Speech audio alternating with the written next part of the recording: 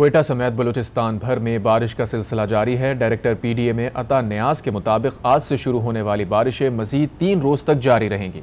उन्होंने मजीद क्या बताया? आइए आपको सुनवाते हैं। जो सिस्टम दाखिल हो रहा है बारिशों का, वो ईरान की तरफ़ से दाखिल हो रहा है। ईरान से दाखिल होकर उस वहाँ ज़्यादातर इम्पेक्ट इसका तुरबत, लसबेला, गवादर केच में खुशदार में है।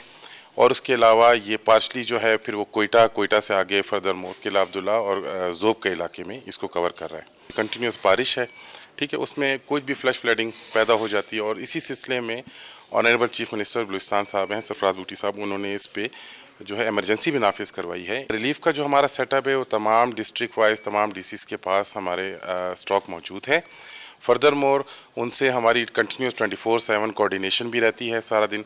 कि जी अगर उन्हें कहीं किसी चीज़ की डिमांड हो, हम उसे फुलफ़िल करें, उनकी रिक्वायरमेंट फुलफ़िल करें।